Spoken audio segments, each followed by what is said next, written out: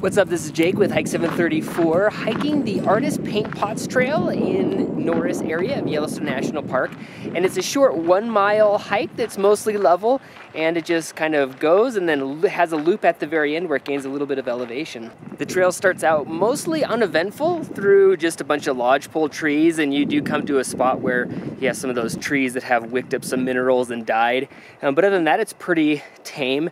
And then you come to the Artist Paint Pot section where there's the loop trail. And that's really cool because what ends up happening is you end up coming to like these just different like mud sections, you know, just different colors of reds and, and this, you know, white mud pots and, and little rifts with some water in them and then you work your way on up and you, this is the only part where you climb and then you get up to the top and I went counterclockwise. So when I got to the top there was you know just some bubbling mud and I think in the spring it's going to be more intense.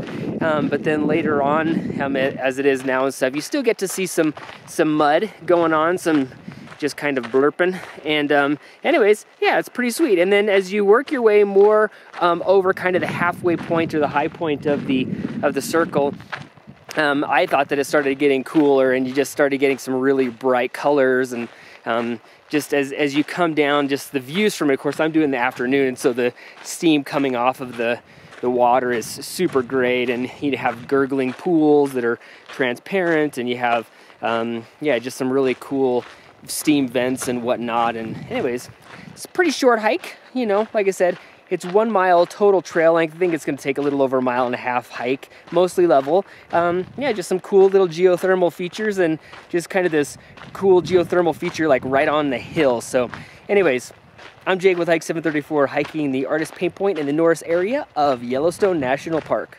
If you like this video, subscribe on YouTube and head over to hike734.com for more goodness.